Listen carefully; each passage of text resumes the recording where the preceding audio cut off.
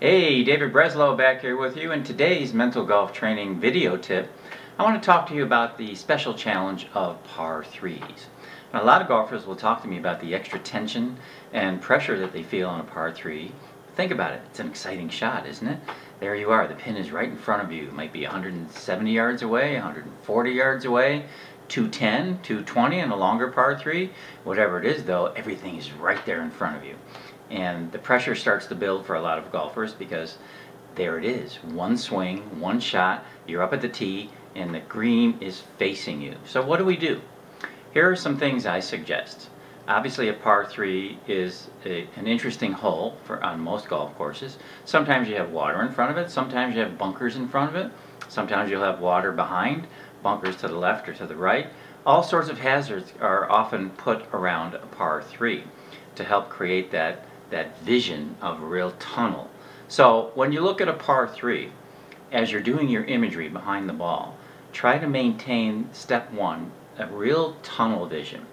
A real tunnel vision. It's almost like the fire, fighter pilot drill I've talked about before, where a fighter pilot on the console of the jet, you see those lines converging before it, it uh, converges on the target itself, and then you hear beep, beep, beep, beep, beep, letting the pilot know that the uh, target is in sight and locked on. So I call that the target lock-on drill. Literally see those lines from the left side and the right side converge onto the part of the green that you intend for your ball to go to. That'll help narrow your vision more clearly, which is hugely important on a par 3. It's hugely important in golf period.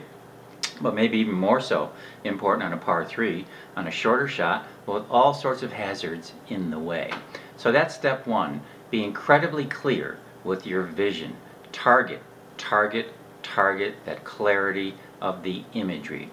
Step two, if you have trouble with par 3s generally, that you're hitting left and right of the green or over the green or short of the green, aim for the center of the green. Don't let where the pin is fool you. Get your ball onto the green so that you can start putting. You want your second shot to be a putt, not a chip, and not, nothing from the center of the fairway when you mishit your drive out of tension or, or pressure. Aim for the center of the green. There's nothing wrong with that.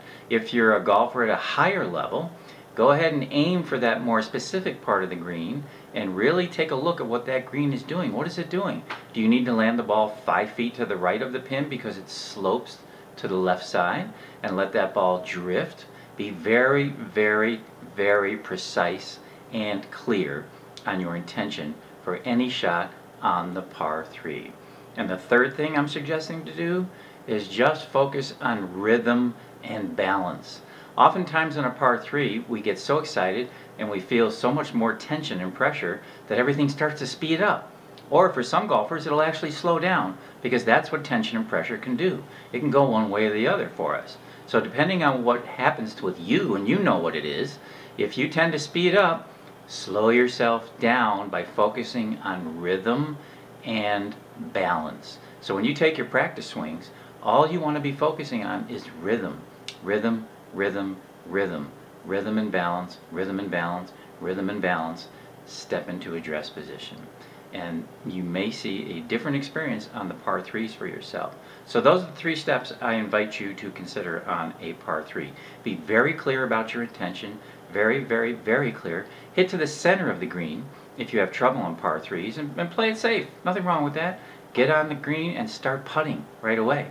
And third, make sure that you focus on rhythm, rhythm, rhythm and balance, rhythm and balance, rhythm and balance on your swing rhythm before you hit the ball. That's it for today. Look forward to talking to you real soon. Leave me a message here in cyberspace. And of course, as always, go ahead and visit www.mentalgolfcoaching.com. I got some more free stuff over there for you. Talk to you soon. Take care.